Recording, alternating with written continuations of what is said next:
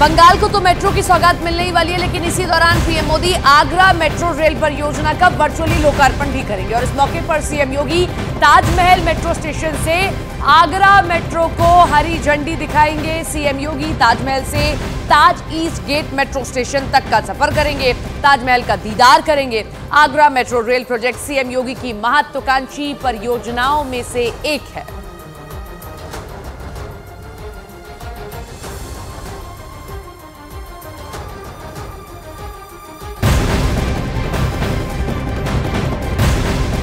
और बात शाहजहां शेख की करेंगे, क्योंकि शाहजहां शेख की कस्टडी लेने पहुँची सीबीआई की टीम। खाली हाथ लौटी है। सीआईडी ने सुप्रीम कोर्ट में अपील का हवाला देकर शाहजहां शेख को सीबीआई के हवाले से, करने से इनकार कर दिया। ये बड़ी खबर आप देख रहे हैं। आपको बता दें कि कल सीबीआई की टीम साढ़े चार बजे पहुँच जाती है कि शाहजहां शेख की कस्टडी ले लेंगे, लेकिन सीआईडी ने इनकार कर दिया। हालाँकि सुप्रीम कोर्ट का दरवाज़ा खटखटाया गया, लेकिन सुप्रीम कोर्ट ने इसे खारिज कर दिया।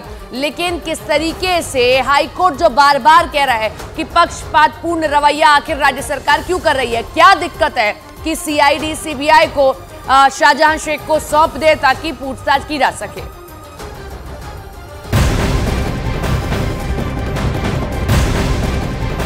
और इधर लालू यादव के पीएम मोदी पर परिवार को लेकर दिए विवादास्पद बयान के बाद पूरा देश मोदी के समर्थन में उतरता आया नज़र आया।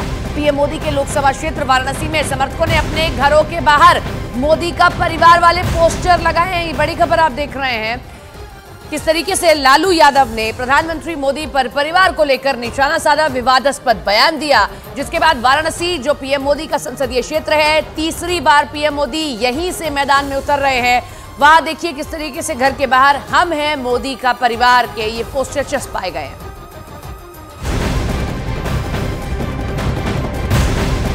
राजस्थान की बात, जहाँ सब इंस्पेक्टर भर्ती परीक्षा पेपर लीक मामले में बड़ा पर्दाफाश हुआ है। एसओजी के एडीजी वीके सिंह ने पेपर लीक में 14 लोगों के शामिल होने की बात कही।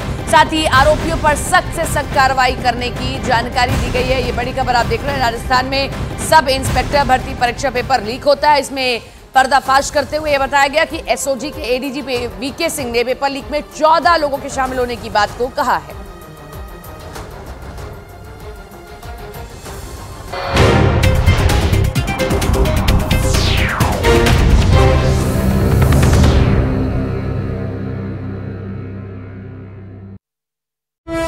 पर्चा खोल दिया। उन्होंने सीहोर में एक स्कूल के सामने बनी शराब की एक दुकान पर हथौड़ा चला दिया। ये वही साध्वी प्रज्ञा हैं जिन्हें इस बार पार्टी ने टिकट नहीं दिया और उनकी जगह भोपाल सीट से आलोक शर्मा को टिकट दे दिया गया।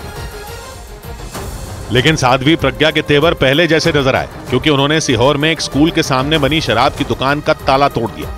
स्कूल की लड़कियों की शिकायत पर साध्वी प्रज्ञा ने हथौड़ा उठाया और शराब की दुकान पर लगे ताले को तोड़ दिया और ताला टूटते ही वहाँ मौजूद लड़कियों ने खूब तालियाँ बजाई।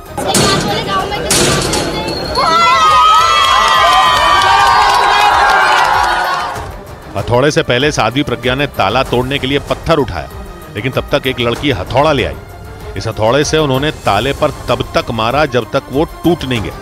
लेकिन इससे पहले साध्वी प्रज्ञा को ताला तोड़ने से रोकने की कोशिश की गई। पुलिस वालों ने उन्हें समझाया।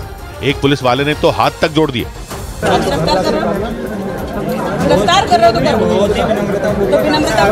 तो पुलिस के लाख समझाने के बावजूद साध्वी प्रज्ञा अड़ी रही और शराब की दुकान का ताला तोड़ दिया।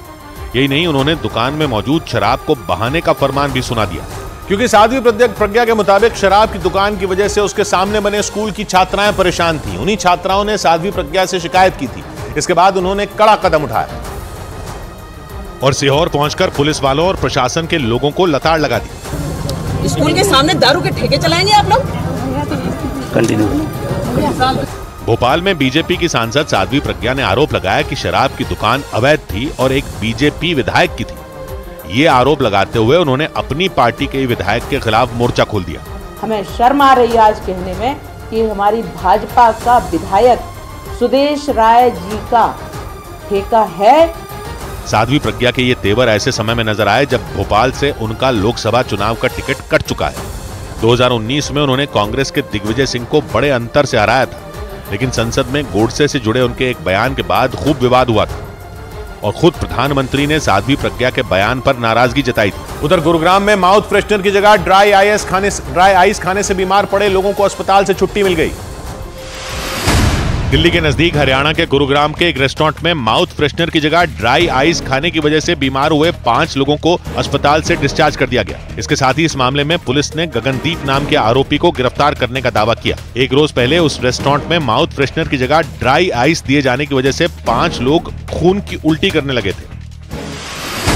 प्रधानमंत्री नरेंद्र मोदी 7 मार्च को जम्मू कश्मीर की राजधानी श्रीनगर में एक बड़ी रैली करेंगे। ये रैली बख्शी स्टेडियम में होगी, जहाँ करीब दो लाख लोग शामिल होंगे। इसके साथ ही प्रधानमंत्री कई योजनाओं का भी लोकार्पण करेंगे।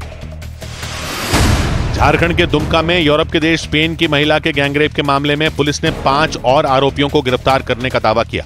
इस मामले में पहले ही तीन आरोपियों को गिरफ़्तार किया जा चुका है। इस बीच मध्य प्रदेश के शाजापुर पहुँचे राहुल गांधी ने राम पर ऐसा बयान दिया कि उनका विरोध शुरू हो गया। राहुल गांधी की भारत जोड़ो न्याय यात्रा मध्य प्रदेश में। इसी दौरान उन्होंने राम पर बयान दिया और बखेड़ा खड़ा हो गया। उन्होंने शाजापुर में एक रोड शो के दौरान ये टिप्पणी की। और बयान देने के कुछ ही देर बाद उनका विरोध हुआ। राहुल की गाड़ी जब सड़क से गुजरी तो उसी समय दूसरी तरफ़ खड़े कुछ लोगों ने जय श्री राम के नारे लगाए। नारेबाजी के बीच राहुल ने इन लोगों से हाथ भी मिलाया लेकिन जय श्री राम के नारे लगते रहे। इससे पहले राहुल जब अपनी गाड़ी पर बैठे थे तो इन लोगों ने प्रधानमंत्री के नाम के नारे भी लगाए। पीएम के नाम के नारे सुनकर राहुल गांधी अपनी गाड़ी से उतरे और इन लोगों से मिलने पहुँच गए। इन लोगों से मिलने के बाद राहुल वापस अपनी गाड़ी में गए। इस दौरान लगातार नारे लगते रहे।